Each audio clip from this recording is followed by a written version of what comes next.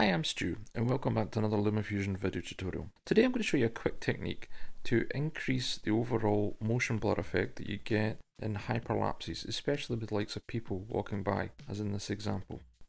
So what you're going to need to do is Command D or tap on the duplicate button.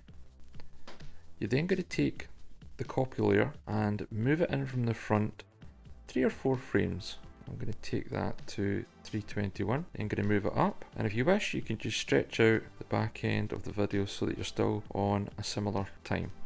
Now what you've effectively done here is moved the top clip forward just enough for the effect to be noticeable. Then going to press 1 on our keyboard to go into frame and fit and by using blending and cropping we'll isolate the effect. So cropping wise you're going to crop the top down you can see the difference in the buildings. You're going to take it so that it's just above head height and then what you're going to do is use the edge softness just come in far enough so you start to see the effect. Once you've done that you're going to go to blending and you're going to reduce the blending to around about 50%. It doesn't have to be bang on 50% but near enough. Then you'll see if we play back the clip because you've offset the timing, but you've also cropped out and masked the building, you get an increased blur effect below compared to before. So I'll switch it off for a second.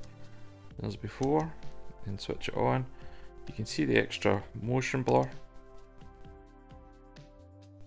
gets applied. This obviously will work better if you were in a static position of a time lapse rather than a hyperlapse but obviously you can do it with hyperlapses as well you've just got to be aware of your surroundings when you're filming and having the ability to crop into specific areas to apply the motion blur whilst retaining detail in buildings and things like that.